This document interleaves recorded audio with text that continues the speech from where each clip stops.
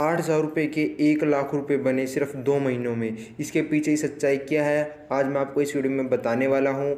मैं अनिश, आप सभी का स्वागत करता हूँ आपके अपने YouTube channel Desi hifi tech पर। दोस्तों, अगर आपने हमारे चैनल को सब्सक्राइब नहीं किया तो चैनल को सब्सक्राइब कर लीजिए और प्रेस कर दीजिए बेलाइकन को, जिससे कि आने वाली हर वीडियो की अपडेट आपको सबसे पहले हमारे यूट्यूब चैनल पर मिल सके।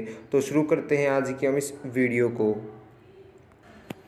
तो सबसे पहले मैं आपको अपनी ज्वाइनिंग की डेट बताना चाहूँगा। एल टोकन में मैंने अपनी इन्वेस्टमेंट कब की थी, उसकी डेट मैं आपको अभी दिखाने वाला हूँ। देखिए, यहाँ पर ये एक आपको एक सर्कल दिखाई दे रहा है, मैंने इसके ऊपर क्लिक किया। उसके बाद यहाँ पर एक ऑप्शन दिखाई देता है माई प्रोफ़ाइल का, ठीक है? माई प्रोफ़ाइल पर क्लिक करने के बाद देखिए, आपको यहाँ पर मेरा नाम और मेरा यूज़र नेम शो करेगा। उसके बाद मेरा यहाँ पर मोबाइल नंबर शो करेगा कि मेरा मोबाइल नंबर क्या है। उसके बाद मेरी मेल आईडी कौन सी है। और उसके बाद सबसे नीचे देखिए, आपको शो कर रहा है कि मैंने इसको कब ज्वाइन किया था, मेरी परचेजिंग डेट कब है। तो सत्ताईस जून दो हज़ार इक्कीस को मैंने इसमें अपनी शुरुआत की थी और अब मैं आपको दिखाता हूँ कि मैंने कितने रुपए से इसकी शुरुआत की थी।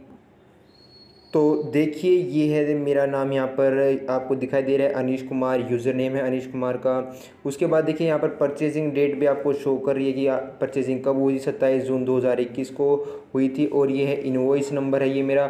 और टोटल कोइन उस टाइम देखिए, आठ हज़ार रुपये के मैंने कितने परचेज़ किए थे?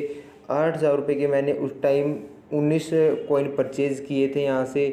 और जो एक कोइन का एक प्राइस था, जो उस टाइम एक कोइन का प्राइस था, वो यहाँ पर five point two five dollar चला हुआ था समथिंग चार सौ बीस रुपये एक कोइन के चले हुए थे। और देखिए, यहाँ पर मेरी परचेजिंग अमाउंट भी आपको शो करिए कि मैंने अपना परचेजिंग अमाउंट कितना दिया था। देखिए, यहाँ पर हंड्रेड डॉलर शो कर रहा है, ठीक है? और यहाँ पर ये व्यू इन्वॉइस पर मैं क्लिक करके आपको दिखाता हूँ कि इन्वॉइस मेरी भी कब की है और इसमें मैंने कब इसमें परचेज़ किया था तो आपने वो देख ही लिया है। तो अभी मैं आपको बताना चाहूँगा, इसकी जो रियल जो अभी करंट वैल्यू है, इस इन्वेस्टमेंट की और ये जो टोकन मैंने मैंने एक कोइन परचेज़ किए थे, वो कितनी वैल्यू वो आपको मैं अभी लाइव दिखाने वाला हूँ। तो देखिए परचेजिंग प्राइस था, जो इसका जब मैंने परचेज़ किया था इसको तो वो था five point two five dollar ठीक है? और इसका जो आज का करंट प्राइस चला हुआ है, वो चला हुआ है सिक्सटी वन डॉलर चला हुआ है, ठीक है? ये सिक्सटी वन डॉलर अभी ये हंड्रेड को टच करके आया है तो वो भी मैं आपको अभी दिखाता हूँ कि हंड्रेड को टच करके आया भी है या नहीं आया है तो आपको यकीन होगा।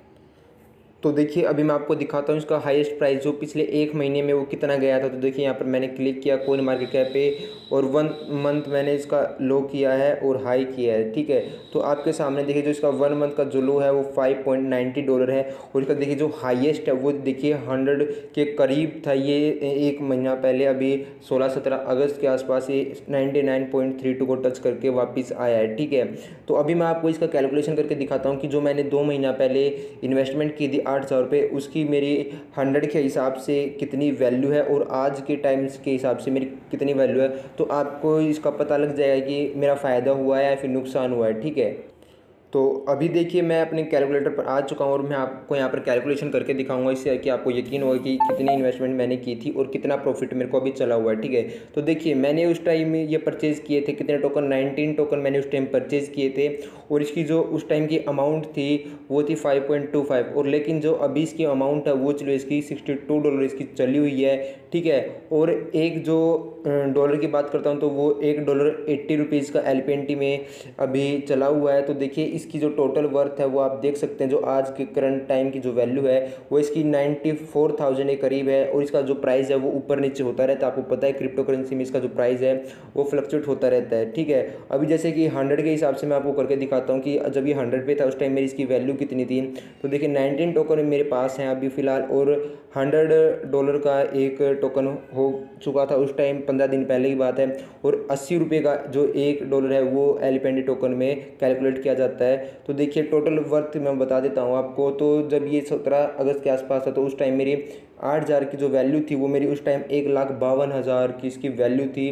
तो देखिए दोस्तों, जो मैंने थंबनेल में दिखाया था, बिल्कुल करेक्ट है। और देखिए, जो इसका जो फ़ायदा, और भी फ़ायदा मैं आपको बताता हूँ, इसका जो देखिए डिविडेंड जो इसमें आपको मिलता है, जितनी इन्वेस्टमेंट आप इसमें करते हैं, उसका आपको डिविडेंड भी अच्छा खासा मिल जाता है। देखिए, जैसे कि मैंने इसको आठ हज़ार रुपये मैंने इन्वेस्ट किए हैं अठारह महीने के, अठारह महीनों के लिए। और ठीक है, जिसमें मेरे को तीन परसेंट डिविडेंड मेरे को हर महीने अभी मिल रहा है। दो महीनों से लगातार अभी मेरा तीसरे महीने का भी आ चुका है मेरे को, जो कि मैं दिखाने वाला हूँ अभी। तो देखिए, आठ हज़ार का देखिए तीन परसेंट जो डिविडेंड है, वो कितना आता है वो भी हम कैलकुलेट कर लेते हैं। तो दो सौ चालीस रुपये मेरा डिविडेंड आ रहा है, ठीक है? अभी तक मेरे को यहाँ पर सात सौ बीस के करीब इसको, मेरे को आ चुका है इसका डिविडेंड, ठीक है?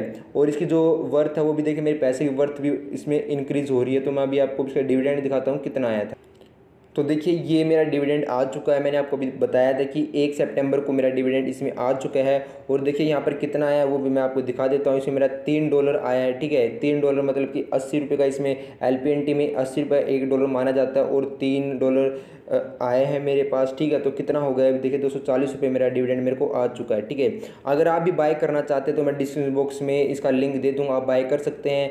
ठीक है तो इसका इजी प्रोसेस है, ठीक है तो अगर आपको ये वीडियो अच्छी लगी तो इस वीडियो को लाइक कीजिए और इस वीडियो की कमेंट करके बताइए कि आपको वीडियो कैसी लगी। अगर आप और किसी टॉपिक पर वीडियो चाहते हैं तो आप मुझे कमेंट कर दीजिए, मैं उसके ऊपर वीडियो बना दूँगा बहुत ही जल्द। तो आप हमारे चैनल पर बने रहिए, मैं आपके लिए ऐसी इंटरेस्टिंग वीडियोज़ लेकर आता रहता हूँ। तो मिलते हैं दोस्तों नेक्स्ट वीडियो के अंदर।